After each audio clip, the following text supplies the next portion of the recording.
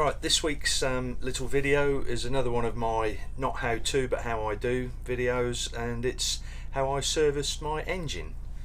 Um, I've actually serv serviced the engine three times now and I've gone through some old video footage on the computer and I found um, this footage of my very first time that I serviced the engine. So the reason I'm bunging this up is maybe it will inspire somebody who's not too um, confident DIY um, just to show that it is um, quite an easy task um, to do. Right, I'm in my main cave at the moment, going to be uh, servicing the engine, which is basically um, oil engine oil change, gearbox oil change, change the air filter, oil filter, primary fuel filter and secondary fuel filter. So I'll show you where those are. Now depending on um, what type of narrowboat you've got, you've either got, going to have a traditional stern, a semi-trad or a cruiser stern. Um, will depend on how much room you've actually got around your engine. People with the cruiser sterns um, can normally actually stand around their engine and lots of room to work. Mine unfortunately is a traditional stern and you'll see just how uh, tight that can be in there. Right, so to change the oil, unlike on it under a car or a vehicle, you'd have a, um, a nut on the sump that you'd undo to drain the sump. What we actually have here is a, a little lift pump. Um, so we can physically suck the oil up from the sump into a container uh, to change the oil. Now the, the filters we've got just around here fuel filter which is the primary fuel filter. We then have the secondary fuel filter there. Down you can just see down there there's the oil filter and in that big plastic housing there goes the air filter. Now there's the gearbox. Um, there's the dipstick on the gearbox there and the filler nut.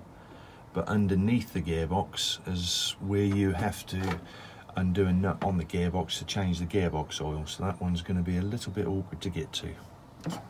Right now I've got a 20 litre um, jerry can to pump all the old oil out into now what I need to do is fashion a bit of pipe from somewhere to put it on the end of the little lift pump um, to then feed it into the the neck of the jerry can well, that seems to have worked. I had an old piece of um, plastic water pipe which fitted on there a treat. So that's just a matter of doing this for seven and a half litres worth of pumps. Well, I'm pleasantly surprised how well that went, uh, having never done it before. A uh, couple of minutes of, of pumping and all the oil was out. So I've now got my new oil filter ready. Uh, give that a smear of clean oil ready to go on. The fun bit is going to be getting the old one off. Uh, it looks quite tight in there and um, I've got a, I did have a spanner, oh it's lost my face, a spanner.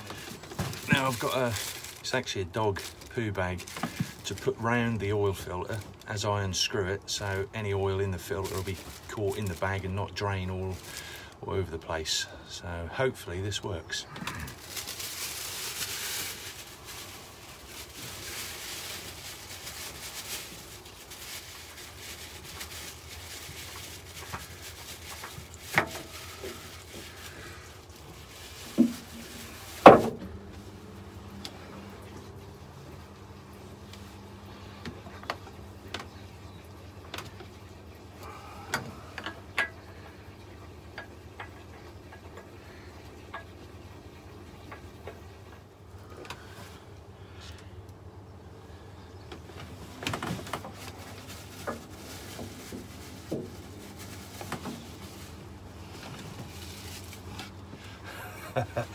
well, it was all going well, unscrewing it with the bag on it until I actually dropped uh, the oil filter and the bag into the sump upside down, sod's law.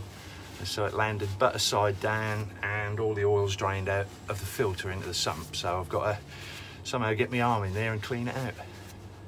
Well, that's the nice new shiny oil filter in place.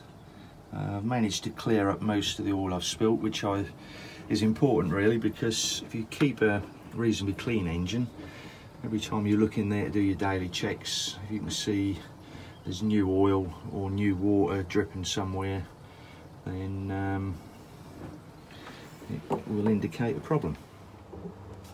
Right, just checking on my Barrus Shire manual.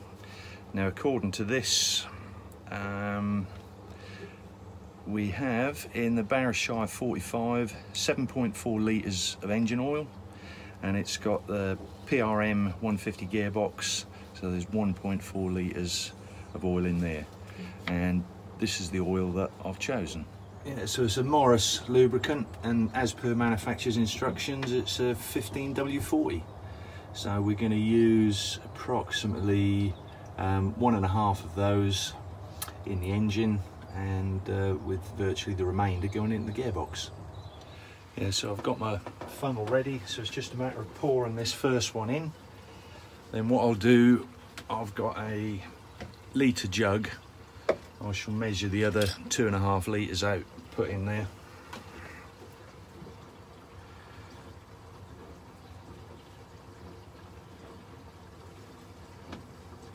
Well, there's about 1.4 litres of oil in the gearbox and I've managed to fashion a container to get underneath the gearbox to catch it. I've got to lay on the engine and get my arms under there somehow so uh, I'll join you when I finish this. Now because that's a little bit inaccessible there and I've got to put 1.4 litres in I've got a smaller funnel in there and I'm measuring out 500 litres twice and then 400 500 litres. that would be a, a big gearbox, right. 500 millilitres twice and then 400 millilitres, making it up to 1.4 litres. So doing it in small measures, I'm able to uh, pour it in without getting it everywhere. Well, well chuffed, that all went to plan. That's fully serviced the engine, uh, no major dramas, which is uh, very rare for me. Uh, something either breaks or I get halfway through something and I find I've got the wrong part.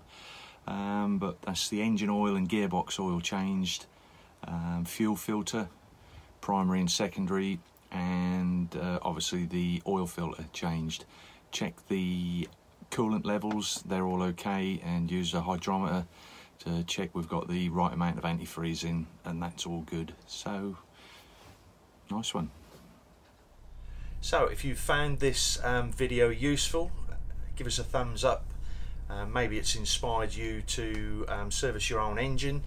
As I said before, this is not a how-to, but how I do.